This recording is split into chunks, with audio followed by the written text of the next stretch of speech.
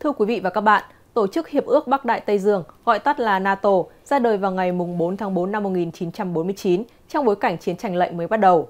Trong 75 năm qua, liên minh quân sự lớn nhất hành tinh này đã mở rộng không ngừng, tiến sát lãnh thổ Nga cũng như gia tăng đường biên giới với Nga. Khi xung đột Ukraine nổ ra vào năm 2022 và leo thang nguy hiểm, dư luận e ngại rằng về một cuộc đối đầu quân sự trực tiếp giữa Nga và NATO. Trong chương trình hôm nay, Thiếu tướng, Phó giáo sư tiến sĩ Lê Văn cường Nguyên Viện trưởng Viện Chiến lược Công an sẽ cùng bàn luận về vấn đề này. Xin chào Thiếu tướng Lê Văn Cương. Xin chào quý khán giả báo điện tử VOV. Vâng, thưa Thiếu tướng, câu hỏi đầu tiên xin được ờ, gửi đến ông đó là mục đích ban đầu của Liên minh quân sự NATO khi mới thành lập là gì ạ? À, bản thân cái khối quân sự Bắc Đại Tây Dương NATO được thành lập ngày 4 tháng 4 năm 1949 tại Hoa Kỳ. Ban đầu của nó có 12 quốc gia tham gia. Mục đích của nó trong cái tuyên ngôn, trong hiện chương của NATO nói rõ đấy là một cái tổ chức phòng thủ tập thể. Họ không nói đầy đủ nhưng bản chất mọi người đều hiểu và cả quốc gia thành viên đều hiểu rằng là gì? Để đối phó với cái bành trướng của chủ nghĩa cộng sản mà do Liên Xô làm trụ cột. Thực chất là như vậy. Ngăn chặn sự bành trướng chủ nghĩa cộng sản và đối phó với lực lượng quân sự của Liên Xô, gần Đông Âu. Bản chất nó ban đầu là như vậy. Và thật ra, cái tuyên ngôn hiến chương này đến bây giờ vẫn chưa có thay đổi gì cả. Bản chất nó là một hệ thống phòng thủ tập thể để phòng ngừa những cái hoạt động của Liên Xô, của này theo nghĩa, sự bành trướng của thị cộng sản và đối phó với những cái bất trắc nếu như Liên Xô sử dụng lực lượng vũ trang đối với cái nước khác ở châu Âu bản chất nó là như vậy. Vâng thưa ông, vào năm 1991 khi Liên Xô tan rã và khối Warsaw giải thể thì ờ, vậy tại sao sau đó NATO vẫn tồn tại, thậm chí là còn phình to ra rất nhiều? À, như là mới đây như là hai quốc gia vốn nổi tiếng là giữ thái độ trung lập như là Phần Lan và Thụy Điển cũng đã lần lượt gia nhập NATO. Thì ông ờ, bình luận sao về vấn đề này ạ? Đúng là chúng ta phải bắt đầu từ cái mục đích tồn tại của NATO. Cái mục đích tồn tại của NATO tức là đối phó với hệ thống xã chủ nghĩa. Mà trực tiếp là cái khối quân sự Warsaw được thành lập năm 1955 tức là khối Warsaw hình thành sau NATO 6 năm. Đây là cái cái cơ sở để mà NATO tồn tại. Nhưng mà những chúng ta biết tức là đến năm 1991 Liên Xô tan rã. Và cái khối Warsaw, cái đối tượng tác chiến chủ yếu của NATO cũng không còn nữa theo logic thông thường thì khi không còn đối tượng tác chiến nó khối Warsaw tan rã, thì NATO phải giải thể chứ ạ. Để cái logic thông thường mà có thể là mọi người đều có hiểu như vậy. Thế mà tại sao NATO không tan rã, không giải thể mà còn tiếp tục mở rộng? Từ 12 quốc gia thành viên vào năm 1949 đến bây giờ 32 thành viên rồi. Thì lý do tại sao? Ở đấy chúng ta phải hiểu. NATO là cái gì NATO là do Mỹ lập ra tất cả những cái sĩ quan chỉ huy lực lượng của NATO đều là tướng lĩnh và đô đốc của Mỹ. Trong bộ máy của NATO, lực lượng quân sự của Mỹ là nòng cốt và họ nắm cái vai trò chỉ huy NATO từ năm 1949 đến bây giờ. Nghĩa là NATO là một công cụ của Mỹ. Mỹ dùng NATO để duy trì cái vai trò đơn cực bá quyền của mình đối với thế giới. Bản chất nó là như vậy. Nó là công cụ và như vậy sau khi không còn Liên Xô, không còn phe xã chủ nghĩa, không còn khối Warsaw nữa, thì Mỹ vẫn còn cần đến NATO. Không những cần mà còn mở rộng NATO nữa. Sử dụng NATO như một công cụ chủ yếu để duy trì cái vai trò áp đặt thế giới, ba chủ thế giới của Mỹ. Nếu không có NATO thì Mỹ làm sao mà áp đặt thế giới được?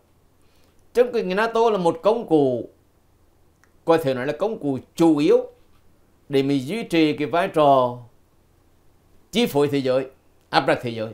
Đây là cái điều thứ nhất mà mình cần dứt khoát phải có. Cái điều thứ hai là khi không còn Liên Xô, chỉ còn Nga và Mỹ được Đông Âu thôi ạ. À. Mỹ có một bảy đời tổng thống Mỹ thường xuyên có một cái lo ngại giống nhau là nước Nga sau khi Liên Xô tan rã hợp tác với châu Âu. Đây là cái lo lắng nhất của giới tinh hoa Hoa Kỳ từ năm 1991 đến bây giờ. Tại sao họ lo Liên bang Nga hợp tác với châu Âu? Bởi vì Liên bang Nga hợp tác châu Âu đó, thì có những vai trò của Hoa Kỳ còn đâu ạ? Liên minh châu Âu hợp tác với Nga trở thành một khổng lồ cái gọi là cái lục địa Âu từ Lisbon. Ở Bồ Đào Nha, đến Vladivostok hình thành một liên minh như vậy. Thì làm sao Mỹ có thể duy trì được vai trò bà chủ thế giới được? Cho nên tất cả cái giới tinh hoa Hoa Kỳ, suốt 33 năm qua, từ năm 1991 bây giờ, họ lo lắng và tìm mọi cách, mọi thủ đoạn, mọi biện pháp để tách châu Âu khỏi Nga. Kiên quyết không được cho Nga tham gia vào cái liên minh châu Âu này nếu mà Nga hợp tác với châu Âu thì vai trò của Mỹ làm sao mà có thể chi phối châu Âu được? Cho nên, họ bằng ngoài cách tách Nga khỏi châu Âu. Thông qua một cái bức vẽ, nước Nga là một nước mà hết sức là hung hãn, rất hiệu chiến. Nga sẽ tấn công được Đông Âu, Nga tấn công được châu Âu. Vì thế, buộc các nước châu Âu phải nằm trong cái ổ hạt nhân của Mỹ nếu như Nga mà hợp tác với châu Âu thì còn đâu châu Âu của Mỹ nữa. Chứ đấy là cái lý do. Đang lẽ ra khối phát ra phát tan trả Thì NATO mới giải thể. Mỹ không giải thể mà tăng cường, Mở rộng. Đấy là cái lý do vì họ dùng NATO như một công cụ quan trọng bậc nhất Để duy trì cái quyền bá chủ thế giới của mình. Dùng NATO để tách châu Âu khỏi Nga, Dùng NATO để buộc châu Âu phụ thuộc vào Mỹ đây là mục đích, vì thế họ phải tăng cường thôi. Họ phải mở rộng thôi. Tiền sách bây giờ nga. Thì đấy ta phải nhìn sâu xa cái mục đích của hoa kỳ trong cái việc này là như vậy. Chứ thật ra mà nói thì cùng phải nói công bằng. Các nước châu âu cũng không thiệt tha lắm đâu ạ. Sự tồn tại của nó NATO không phải nước nào thiệt tha đâu. Nhưng sự áp lực của Mỹ Mỹ là hàng trăm, hàng triệu lần. Nói với các nước châu Âu là Nga là một quốc gia hung hãn là một quốc gia luôn luôn khát vọng về lãnh thổ. Và họ sẵn sàng xâm lược ở nước châu Âu vì thế dứt khoát. NATO phải duy trì dứt khoát. Cả nước châu Âu phải dựa vào Mỹ để bảo vệ cái an ninh. Đấy là cái lý do mà tồn tại của cái NATO sau khi khối Warsaw tan rã. Vâng thưa ông, vậy thì việc NATO đông tiến hay là kết nạp các thành viên cũ của Liên Xô đã tạo ra những thách thức an ninh gì đối với Nga? Chỗ này tôi muốn nói với các bạn một tí thế này nè đã ba lần NATO thực chất là Mỹ thôi ạ. À. Ta nói NATO là NATO thực chất là Mỹ. Ba lần Mỹ cam kết với nước Nga. Cam kết với Liên Xô cũ của nước Nga là không mở rộng NATO phía Đông. Cái lần thứ nhất là ngày 6 tháng 2 năm 1990. Ngoại trưởng Mỹ khi là John Baker có nói về tổng thống Liên Xô Gorbachev nói thế này này. Nguyên văn của Baker, ngoại trưởng Mỹ nói về Gorbachev thế này. Ngày 6 tháng 2 năm 1990 này. Ngài yên tâm, NATO sẽ không mở rộng về phía đông. Dù là một inch, cái tivi của ta là 30 inch 40 inch, một inch. Quan chức hàng đầu của Hoa Kỳ đã cam cam kết với tổng thống Liên Xô là chúng tôi tuyệt đối không mở rộng NATO phía đông, dù là một inch lần thứ nhất lần thứ hai, ngày 19 tháng 3 năm 1991 tại Bonn thủ đô Tây Đức cũ đại diện ngoại giao của Mỹ, của Liên Xô, của Anh, của Pháp, của Liên bang Đức cũ và Cộng hòa Dân chủ Đức sáu quốc gia này cuộc nói ra một cái tuyên bố chung NATO sẽ không mở rộng NATO về phía đông sông Elbe tức là NATO chỉ trong phạm vi trong sông Elbe thôi và vì thế, chúng tôi không kết nạp Ba Lan các nước Baltic và các nước khác trở thành thành viên NATO. Đây là lần thứ hai ngày 9 tháng 3 năm 1991 Mỹ đã cam kết với Liên Xô là như vậy. Lần thứ ba, ngày 27 tháng 5 năm 1997 tại Paris, giữa Nga với NATO đã ký một cái đình ước đảm bảo an ninh chung nội dung của nó là hợp tác giữa nga và nato để đảm bảo an ninh chung của châu Âu và NATO và Nga. Trong kỳ hiệp ước này, NATO cam kết là không bố trí vũ khí hạt nhân tại các nước thành viên mới kết nạp. NATO không bố trí cái vũ khí hiện đại tại các nước thành viên mới kết nạp xung quanh cả nước Liên Xô cũ đấy. NATO không đưa lực lượng chiến đấu vào tiền tuyến Dạ, giáp với Nga. Nhưng mà họ làm gì? Đặt hai lần cam kết không mở rộng. 5 lần, 6 lần mở rộng từ 12 thành viên, bây giờ 32 thành viên rồi. Họ đã cam kết không đưa thiết bị quân sự hiện đại vào các nước thành viên mới. Họ bố trí họ hệ thống phòng thủ tên lửa Ba Lan và Cộng hòa Séc. Đưa thiết bị hiện đại nhất và bắt được Baltic. Chứ tôi mới nói rằng là Mỹ đã cam kết và họ sẵn sàng xóa bỏ cam kết vì lợi của họ.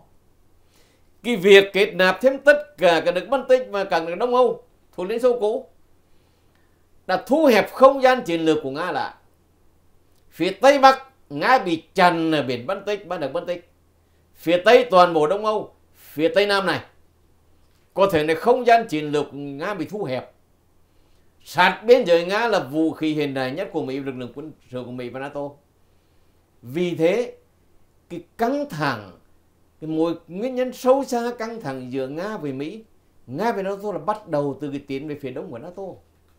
Mà tôi xin nhắc với các bạn rằng là trong các học giả của Mỹ có những người cực kỳ thông minh. Như ông kennan kennan tháng 2 năm 1946. Khi ấy là tổng đại diện Mỹ tại Washington à, tại Warsaw.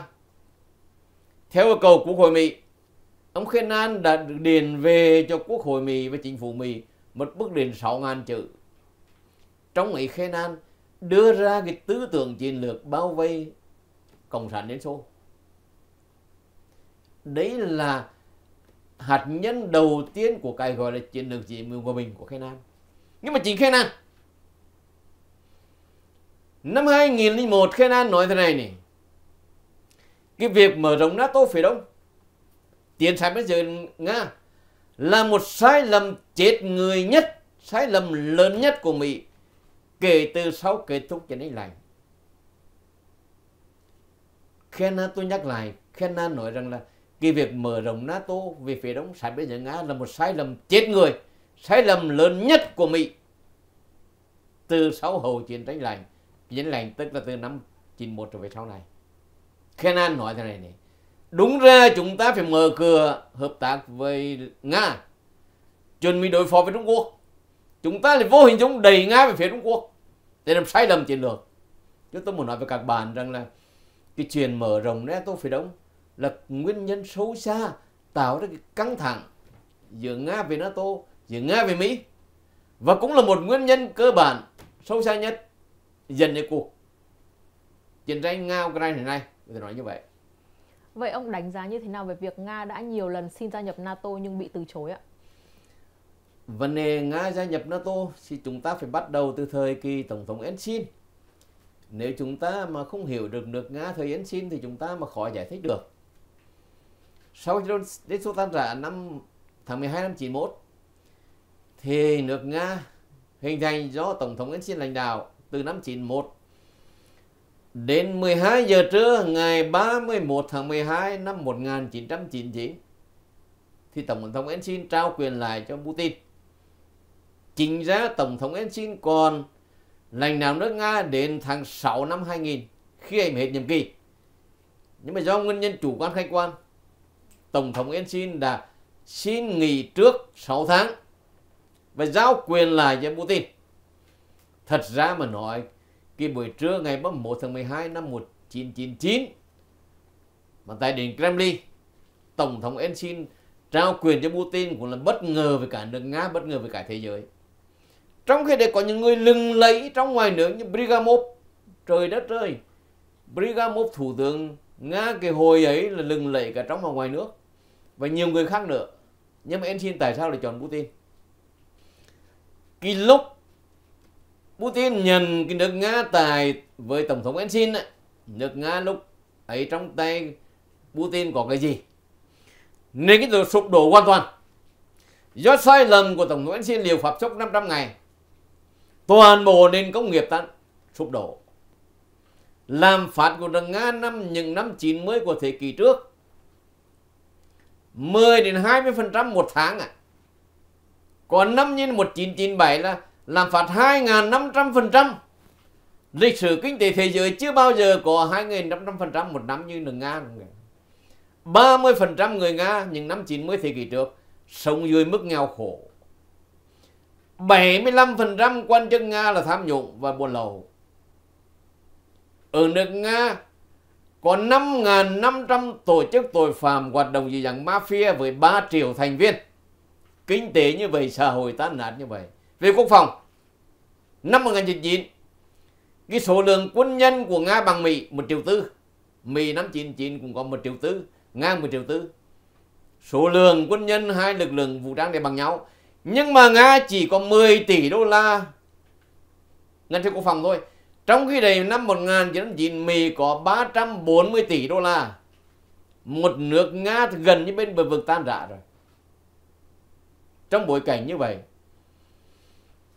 9 năm cầm quyền, từ năm 91 năm 99, Tổng thống ensign đã tất tưởi chạy đi chạy lại như con thoi từ Washington sang Bruxelles hàng chục lần.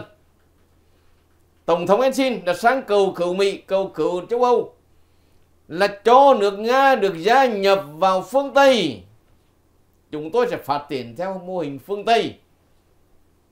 Nhưng mà tại sao Washington lắc không cho nước Nga gia nhập vào thế giới phương Tây và không cho được ai gia nhập NATO? Cái lẽ đơn giản thôi ạ. À. Trong một cái tổ chức thì bao giờ chỉ một người cầm đầu thôi. Cái NATO là do Mỹ cầm đầu nước nga vào đây nữa thì sao nga chắc chắn không thể giữ vai trò như đức, như pháp, như anh trong nato được hơn nữa, mỹ cực kỳ lo sợ cái việc nga vào nato vai trò của mỹ sẽ suy giảm trong nato suy giảm đối với châu âu. Mà khi nga là vào nato đó thì chắc chắn quan hệ kinh tế chính trị nga về châu âu sẽ chặt chẽ hơn nữa. Và như tôi nói trước đây đó, bằng mọi cách sau khi kết thúc chiến tranh này năm 91 đó, tất cả các đời tổng thống Mỹ cả hai đảng dân chủ cộng hòa đều tìm một cách tách nga khỏi châu âu.